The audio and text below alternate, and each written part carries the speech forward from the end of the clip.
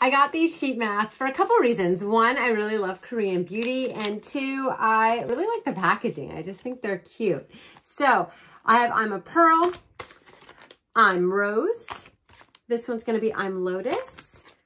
I'm green tea and I'm cactus. So it does tell you on the back what each one is.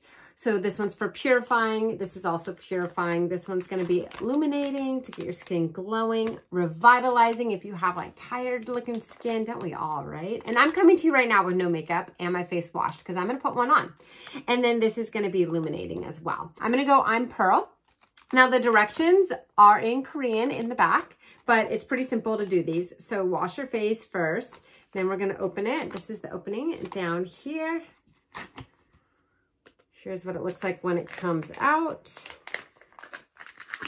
So you're gonna get one sheet mask per, per bag. They're kind of goopy usually, so I always make sure I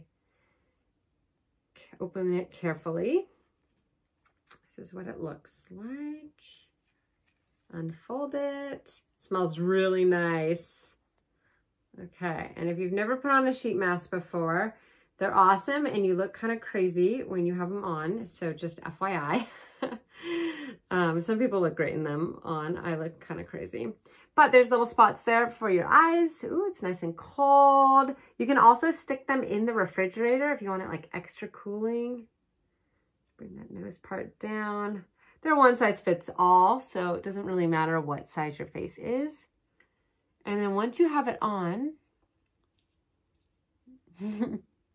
You're just to sit with it on for 20 to 30 minutes and let it do its thing. And then you take it off and your skin is to look amazing and glowing. So I'm to go ahead and keep this on and then I'll be back and show you the after. All right, it's time to take this mask off. Ooh, look at that beautiful skin. You're going to have a little bit of excess. I do recommend just kind of using circular motions and rubbing it in. It definitely makes your skin feel so soft. My skin does feel revitalized. It was feeling really dry and tired. And these things are great. So if you're looking for a good sheet mask, these are a lot, a lot of fun.